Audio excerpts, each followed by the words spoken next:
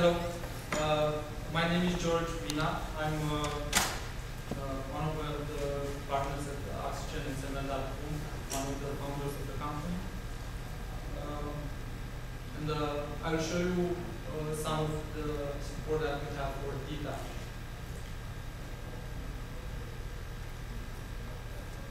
And uh, what is Oxygen? we started in 2001 and Oxygen was mainly a development tool for uh, XML. And we cover all schema languages, uh, XSLT and XQuery, including uh, XSLT 12, uh, including debuggers, possibility to transform with the uh, style sheets to transform uh, to run XQuery against XML databases. A lot of development. We, we basically cover all all that's development in the XML area. And uh, we added also support for XML authoring. Uh, we provide visual editing based on CSS style sheets. We support for uh, tables, links, images, uh, forwarding, uh, and we provide then uh, specific support for a number of document frameworks. DITA, DocBook, PI, XHTML, and uh, a few others. And uh, all this support is not hard coding in Oxygen. It's just built uh, and can be extended, and uh, the same support can be added for another vocabulary.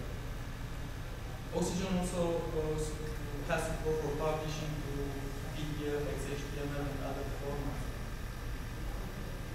It is a multi-platform product and works on the Mac, on Windows, on uh, Linux, and it's available as a standalone application, but also as an Eclipse plugin.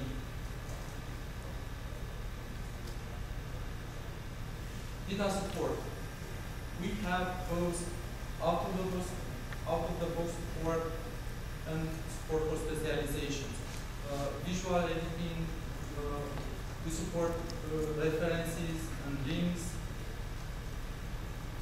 tables. We provide a special editor for the DITA Maps Manager. We integrate the latest DITA Open Toolkit, and actually Oxygen can work with multiple uh, open toolkits and multiple versions. And we provide for configuration and extensibility. And I will get uh, to the Oxygen demo. So first, first I will show you uh, a complete uh, creating a map, a and getting the output. Uh, DITA hello world application basically, how, how you can do that in Oxygen. I have an empty folder here. I create a new file.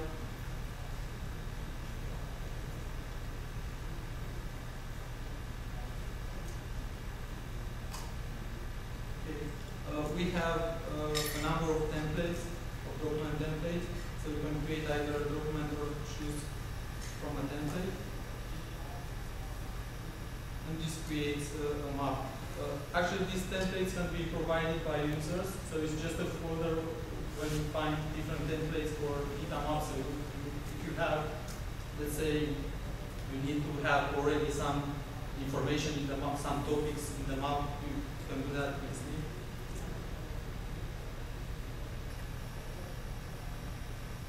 this allows to choose from available topics, but I will just enter here topic name. It doesn't exist, so I will just create it. Then I can edit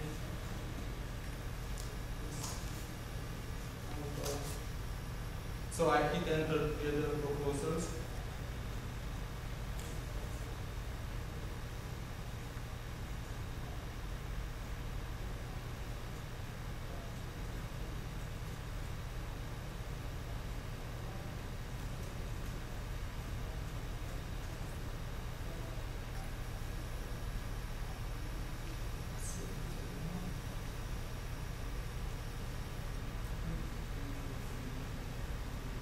Then I create a transformation.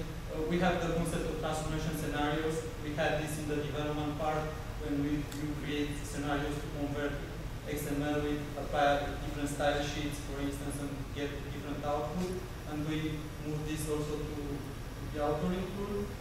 And we have, uh, when you create a, a transformation scenario, you, you can choose uh, to, build that on, on one of the defined scenarios in Oxygen.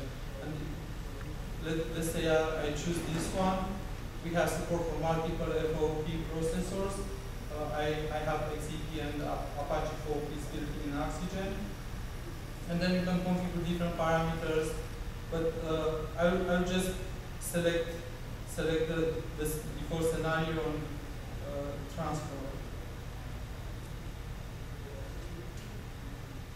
Here, uh, it's, Oxygen shows the uh, Git output, toolkit output. So if something goes wrong, you can see what problems, what problem was, and uh, try to fix that. And uh, there you have also the uh, the command line that runs the transformation. In case you want to take that and run it uh, from a command line. And here, here you get the, the PDF output. So it, takes basically, starting with DITA in oxygen, it takes two minutes.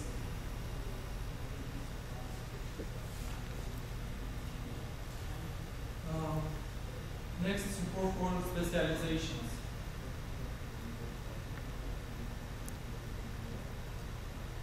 I have here uh, Elliot tutorial, and uh, he has uh, a, a question specialization, question and answer specialization. Uh, these are the DTD files. And you can notice that uh, we have some errors in this file, right? In the mode file. And this problem is not only with DTDs, but with XML in general and with XSLT style sheets. There are cases when modules are not valid by themselves, but they are valid in the context they are used from. And uh, we solved this problem, for instance, by uh, uh, adding validation scenarios.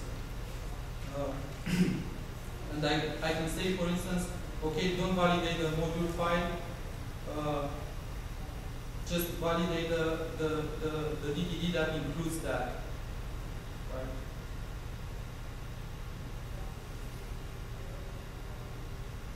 And the file get, validating the context it is used from instead of uh, you know, getting those validation errors. So Oxygen allows you to work also to create the DITA specializations. But what it takes to, uh, so here we have a file that refers the DTD directly. If I switch this to the author, you, you notice that there are no DITA elements here. Right? But if I switch this to the author, I get the, the DITA support. Because uh, the, uh, the, the default attributes from the DTD allows Oxygen to determine that it's DITA. The DTD defines the DITA uh, uh, version attribute, and Oxygen automatically detects that DITA.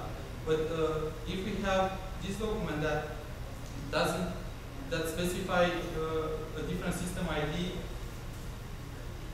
Oxygen cannot, cannot uh, know that is DITA, right?